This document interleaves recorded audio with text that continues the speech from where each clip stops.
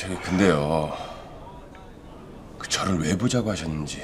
박경희님 저랑 인연이 참 깊은 것 같아서요. 제 동생 사고 담당 경찰관이면서 제 어머니를 찾고 계신다니 이런 인연이 어디 있습니까?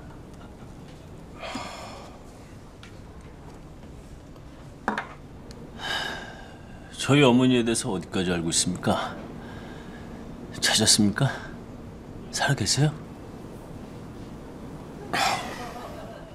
다 날 떠났습니다. 내가 지켜주지 못했어요. 나 때문에 떠났습니다. 다 내가 놓쳤어요. 내가 나 때문에 떠났어요. 나 때문에.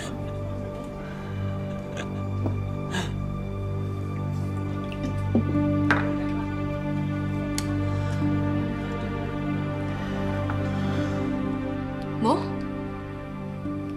지금 누구랑 있다고? 우리 남편이랑?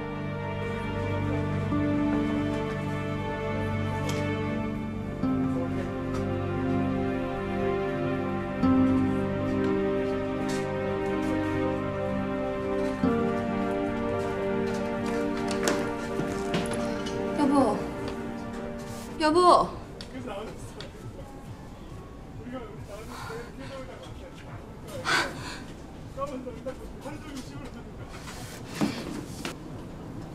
왜 쳤어? 우리 남편을 왜 만나? 왜 술을 마셔? 나 이렇게 가시방석 술자리 머리털 나고 처음이다. 네 남편 왜 이러냐? 난데없이 왜 나를 불러내서 나한테 신세한탄을 하냐고. 죽은 여동생 얘기, 사라진 어머니 얘기하면서 다 내가 못 지켜줘서 그렇다. 다 내 잘못이다. 아직 비련의 남자 주인공 되는데 이거 뭐 어떻게 내가 안아줄 수도 없고 뭐라고 대꾸를 못 하겠잖아 불쌍해서. 그래서 어디까지 말했어? 무슨 말했어? 설마 다 얘기한 건 아니지? 했어? 아무 말 안 했어. 근데 너 어떻게 한 입을 덮고 사냐? 미안해서. 나도 막 가슴이 이렇게 저릿저릿한데 너 괜찮아? 볼 때마다 안 미안해? 네 남편 여동생 네가 그런 거잖아.